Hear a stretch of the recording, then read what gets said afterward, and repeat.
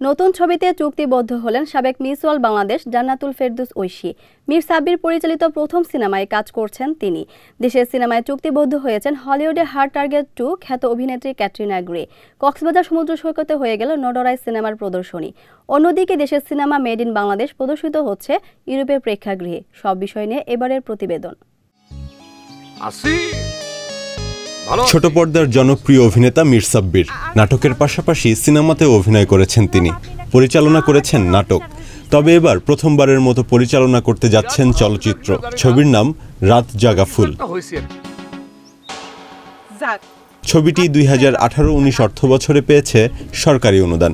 এই ছবিতে চুক্তিবদ্ধ হয়েছেন সাবেক মিস ওয়ার্ল্ড বাংলাদেশ জান্নাতুল ফেরদোস ঐশী। এরই মধ্যে সিনেমার শুটিংয়ে অংশ নিয়েছেন তিনি। এখন পর্যন্ত পাঁচ দিনের শুটিং হয়েছে। দশ ডিসেম্বর থেকে বরিশালে চলবে টানা বারো দিনের শুটিং। জানুয়ারি মাসের মধ্যে পুরো ছবির শুটিং শেষ করতে চান মির সাব্বির। দেশের সিনেমা অ্যাডভোকেট সুরাজ। এই ছবির মাধ্যমে তিন দশক পর সিনেমায় ফিরেছেন গুণী পরিচালক সিবি জামান।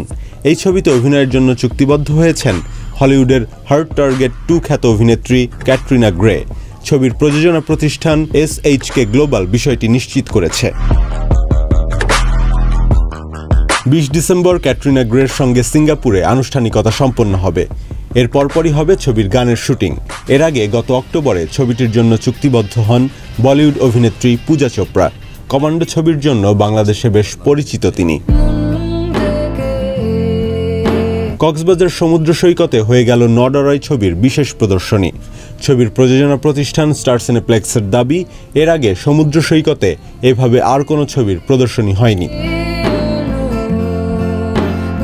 নারীর ক্ষমতায়নের এই গল্পে রয়েছে সার্ফিংয়ের মতো বিষয়। বিশেষ প্রদর্শনীতে তাই উপস্থিত ছিলেন স্থানীয় সার্ফাররা। এছাড়াও কক্সবাজারের সাইমন বিচ রিসোর্টের সামনে দেশি বিদেশি অতিথিরা ছিলেন এই বিশেষ আয়োজনে।